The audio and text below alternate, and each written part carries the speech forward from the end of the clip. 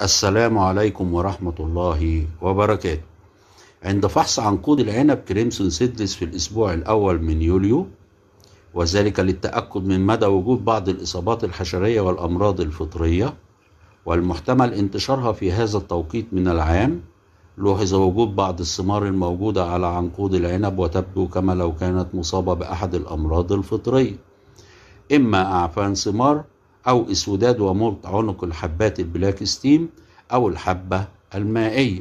ولكن لوحظ أيضا أنها توجد على كتف واحد كامل من أكتاف العنقود ولا يوجد مثل هذا العرض على باقي حبات العنقود أو على العناقيد المجاورة. فاستبعد تماما أن يكون هذا مرض فطري.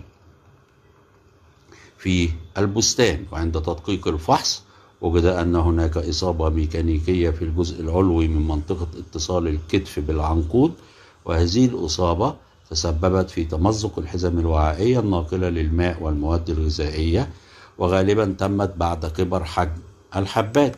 ثم حدث جفاف وفقد العصارة النباتية الموجودة في حبات هذا الجزء من العنقود وتسبب في انكماش وكرمشة الحبات وأصبحت شبيهة بمرض الحبة المائية الناتج عن ال black stem والاختلاف أنها كانت على فرع واحد من العنقود وأيضا ثمارها المنكمشة متصلة بالفرع دون سهولة تساقطها كمرض الحبة المائية الناتج عن إسوداد عنق الحبات.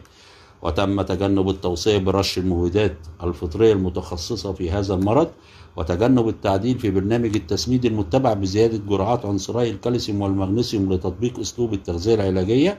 وفي النهاية التشخيص السليم يقلل التكاليف والمجهود ويعظم الإنتاج. تحياتي والسلام عليكم ورحمة الله وبركاته.